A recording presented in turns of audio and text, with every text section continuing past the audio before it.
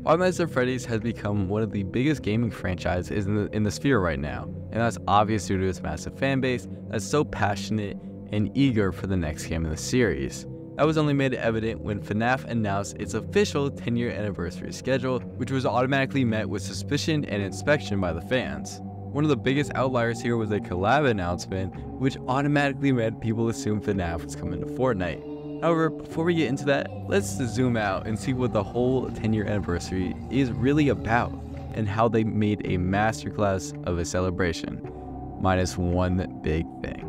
FNAF is probably in contention with big game Undertale to be just behind Minecraft in one of the biggest indie games of all time. It has already reached mainstream popularity and has even gotten its own movie. That is going to be spawning a franchise with multiple more movies. Anyways, one of the best things FNAF has done is try to incorporate its fans and its fan games into its main hemisphere of announcements.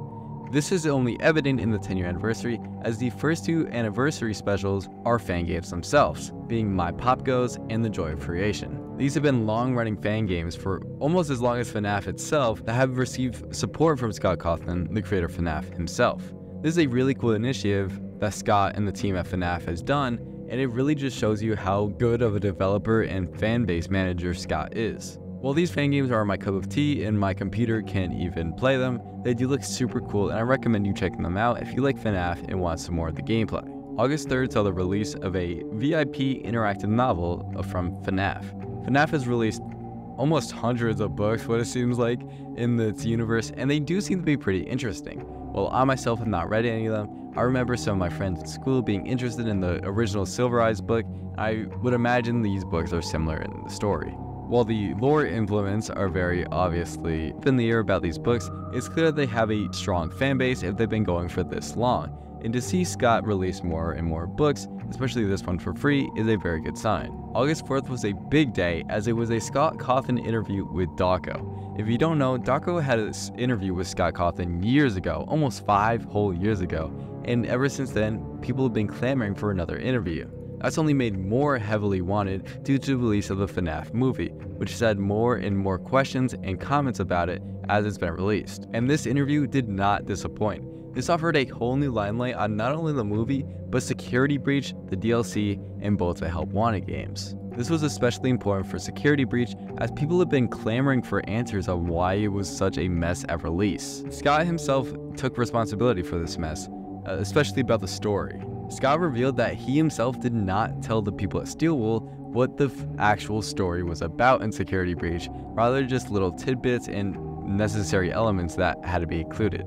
This is obviously a very bad decision by Scott, and I'm glad he's owning up to it telling people to have certain elements of a plot but not telling them the whole thing so they can flesh onto it is a main reason why Security Breach was such a failure and a disappointment. Not to mention the massive amount of bugs and glitches, but we'll ignore that. Not only this, but he talks about the struggles he had with the FNAF movie and how almost one bad review led him to into a near depressive episode until he found out that the fans absolutely loved the movie.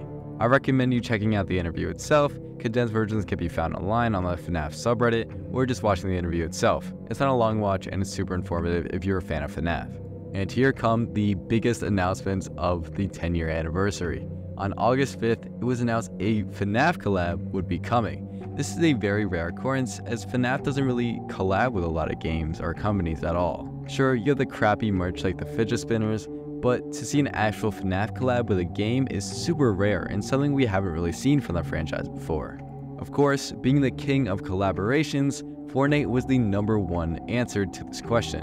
Fuel was only added to this fire when leakers found out Fortnite would be having an update on August 6, which would make sense with the rearrangement of the 10 year anniversary schedule as the announcement would come a day before the update. So people hammered for FNAF in Fortnite hard I've never seen a fan base on Twitter be so rallied up and supportive of a game franchise being in Fortnite.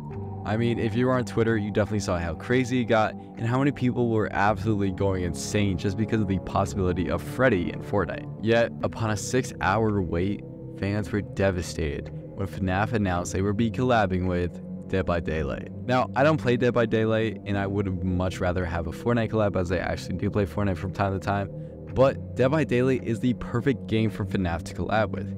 If you don't know, Dead by Daylight is basically the Smash Bros. of horror. It features horror icons like Freddy, Jason, and all your main culprits, and to have FNAF in there to be representative of the indie game space would be fantastic, and it's great to see that it's finally happening. Not to mention, fans have been wanting this collab for almost the whole time since FNAF has been released. There's accounts from 2020 begging for this collab, and it's great to see this finally happening. However, the biggest announcement of the whole 10 year anniversary would come the next day, and that would be in the form of a Steel Wool announcement. Now, based on it being Steel Wool, people were expecting one of two things either Help Wanted 2 DLC or a brand new game announcement. Obviously, people would have preferred a brand new game announcement, and that is what we got. The brand new game, Five Nights at Freddy's Secret of the Mimic, was officially announced to be coming in 2025, and fans are going wild. The tweet's already gotten 44,000 likes and 1.6 million views, and people are theorizing every little thing about the trailer. However, we don't really know much. As of right now, we know the game takes place in 1979 and that the Mimic is in it, but that's basically all we know. Now, I am not a super FNAF fan at all. I probably don't know half the lore better than half you guys watching. However, my two cents is that the game will switch between time settings. We know for sure that the game takes place in 1979, but the tweet says, to see the future, sometimes you need to understand the past. My understanding is that it could possibly be a time switch game where you switch between 1979 and the more modern times. This has even been done in the franchise before with Into the Pit, which features time travel mechanics, however that could be a little janky. I'll leave more reputable sources to be theorizing about this game, however one thing I can talk about is the downsides of this anniversary.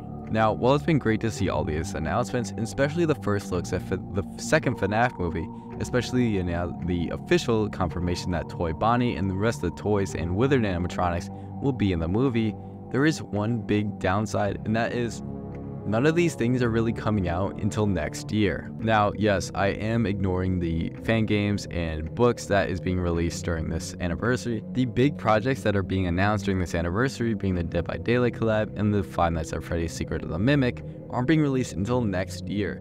That is a whole year plus wait until we actually get this content. Maybe I'm being a little bit of a baby here, but it is nice to have something revealed or announced just a couple months before rather than a whole year.